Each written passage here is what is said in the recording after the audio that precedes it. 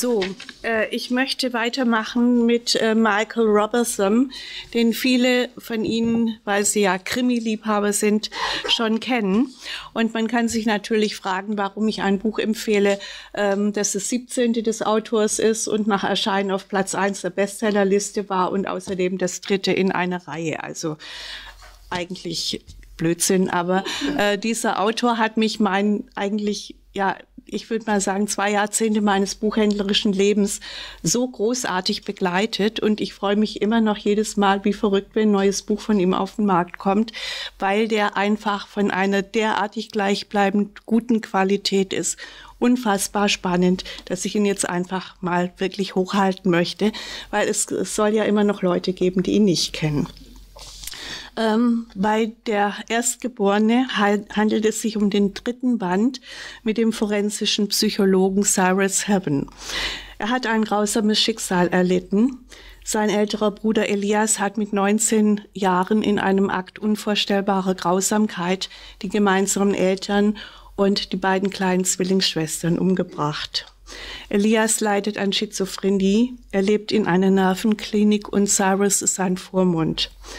Jetzt, nach 20 Jahren, ist er medikamentös so eingestellt, dass die Psychiater ihn entlassen könnten. Äh, die andere Hauptfigur ist die 21-jährige Evie. Sie lebt bei Cyrus im Haus, eine hochbeschädigte junge Frau, für die Cyrus ebenfalls bis zu ihrer Volljährigkeit die Vormundschaft hatte. Evie hat eine unerhörte Vorgeschichte.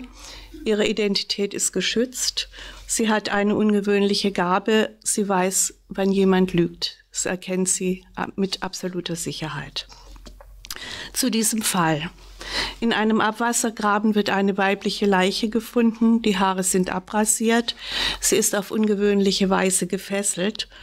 Und acht Jahre zuvor wurde schon einmal eine Frau, äh, äh, gab es eine Frau, der dies angetan wurde. Die ist aber mit dem Leben davongekommen.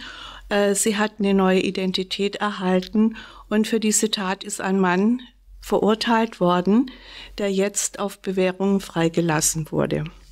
Ja, es verschwinden noch zwei Frauen. Eine von ihnen war zu Gast in der Bar, in der Evie abends kellnert und sie glaubt zu wissen, zu wem sie ins Auto gestiegen ist und mit wem sie weggefahren ist. Ja, Robertson weiß also viel über die Abgründe von Menschen. Er muss sich sehr intensiv mit Soziopathen und Psychopathen auseinandergesetzt haben. Und er schreibt einfach unglaublich gut und spannend. Und ähm, wer eben noch kein Buch von ihm gelesen hat, sollte unbedingt mit dem ersten Band von Sarah's Heaven anfangen. Das heißt Schweige still. Der zweite ist Fürchte die Schatten. Ähm, es wird dort auch die persönliche Geschichte von ihm und auch von Abby erzählt. Das ist manchmal harte Kost, das muss ich Ihnen sagen, aber es ist einfach unglaublich gut.